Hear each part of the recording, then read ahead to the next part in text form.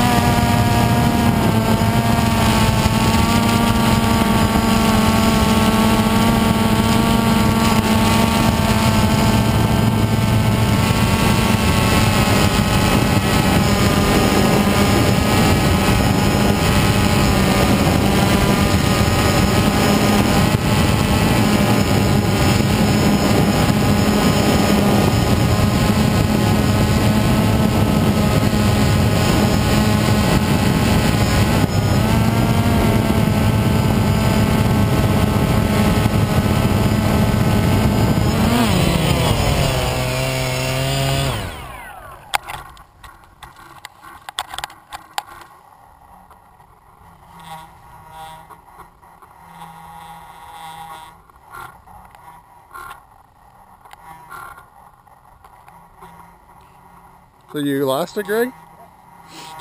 Not too bad.